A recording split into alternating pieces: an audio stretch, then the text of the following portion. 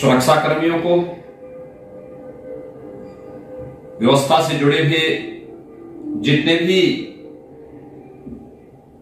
शासकीय कर्मी थे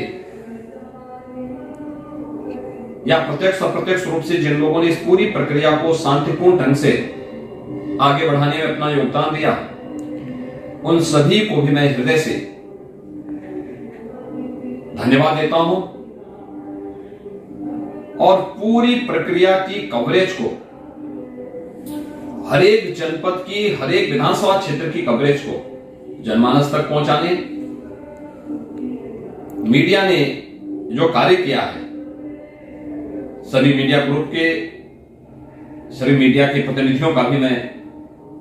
हृदय से धन्यवाद देता हूँ कि लोकतंत्र के इस महापर्व को उन्होंने महापर्व बनाने में जो योगदान दिया वो अत्यंत अभिनंदनीय रहा है। मैं एक बार फिर से शांतिपूर्ण तरीके से उत्तर प्रदेश विधानसभा चुनाव के सातवें, सात चरणों के मतदान की प्रक्रिया के पूरे होने पर मैं भारत निर्वाचन आयोग, निर्वाचन प्रक्रिया से जुड़े हुए